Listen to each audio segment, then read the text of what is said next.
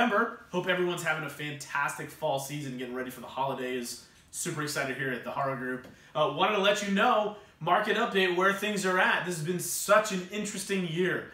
The uh, there's there's you know we go over these stats with you guys every time. So this is GGAR MLS stats. So that's Greater Greenville Association of Realtors. So it's the Greenville MLS. Interestingly, there are three MLSs in the upstate. Didn't know if you knew that. Uh, but this is the Greenville MLS, which does capture the majority of the upstate, and many of the agents in the other two MLSs actually post all their listings in the Greenville MLS. So this is the most robust data uh, to represent the Greenville area and the upstate. So as of November 10th, we have these stats. Supply, this is same time last year over this year. So on November 10th this year, we had 2,941 active listings.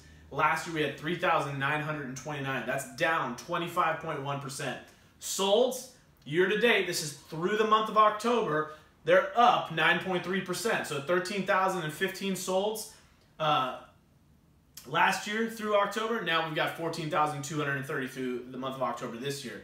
So one of the things I want to point out to you is that we hear, and I get asked this all the time, like there's no inventory. That is actually a false statement. There is more inventory than there's ever been because we're selling more houses than we've ever sold. However, there are more buyers than even the listings that we have. So that's what's driving this uh, uh, decrease in inventory and increase in, um, in number of solds. So this is driving up price. As everyone has seen and heard, we are seeing prices increase. Median price is up 12% year over year, and average price is up 14.8% to 320. Median is 263 for the upstate. 320, what we're seeing and why this number is rising faster is we're seeing more higher priced homes sell than we have traditionally seen. And this is, uh, at least anecdotally, there's not great data on this, and I wish there was. Uh, we're seeing a lot of well, uh, deep pocket buyers from all over the country, particularly more than ever than I've seen from the West Coast moving to the Greenville area and buying things with cash, sight unseen in many, in, in many instances, and that's driving up price.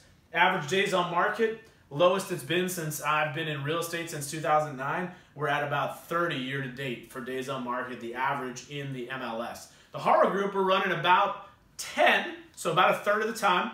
Um, one thing I wanted to point out that, that that's a trend that we're going to watch for you is that in the month of October, we actually had less houses sell than October 2020. About 5, 5.7% uh, less houses sold in the month of October 2021 than in the month of October 2020. If that trend continues, that'll be something to watch. We'll keep our eyes on it. Interest rates remain low. And everyone, uh, we'll talk about this potentially more next month, but 2022 is going to be a strong year for real estate. And if you have questions, call us. Remember, we can buy your house cash if that helps you.